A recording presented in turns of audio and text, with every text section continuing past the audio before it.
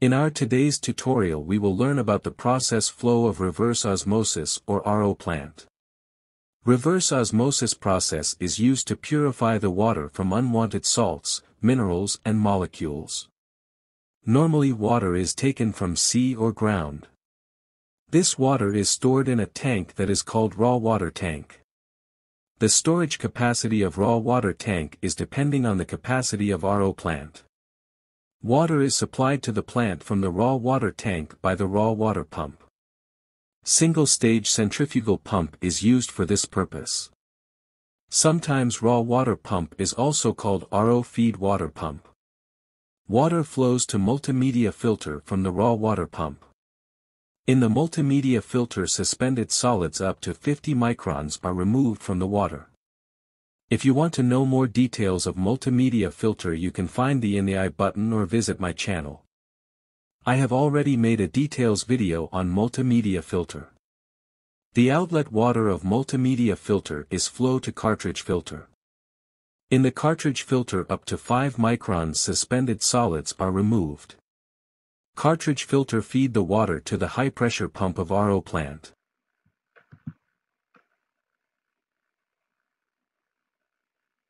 High pressure pump increases the water pressure. The range of pressure is depending upon the design of the plant.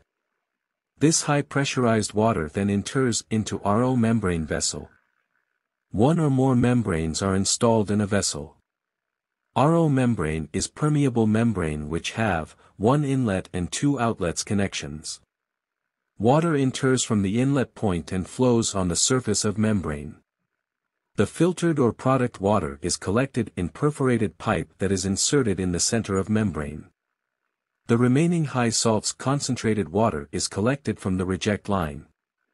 This filtered or product water is also called permeate water.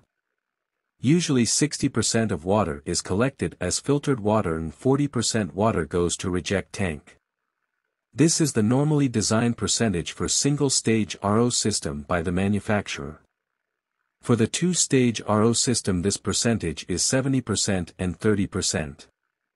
However, this percentage is changeable and we can change this percentage as per requirements. Now let's see the chemicals use in the RO plant. Usually five types of chemical are used in the RO plants, these numbers may be increase or decrease in any specific location or plant. Number 1 is sodium hypochlorite. Sodium hypochlorite is injected in the water for disinfection before the multimedia filter. When we inject sodium hypochlorite it produces hypochlorous acid, this acid then reacts with microorganisms in the water, like bacteria, viruses and algae, and deactivates them, preventing them from being able to reproduce or pose a risk to human health. Number 2 is sodium bisulfite or sodium metabisulfite. Sodium hypochlorite is harmful for the RO membranes, before the water enters in RO membranes, sodium hypochlorite must be removed from the water. To remove the sodium hypochlorite from the water sodium bisulfite is used. This process is also called dechlorination.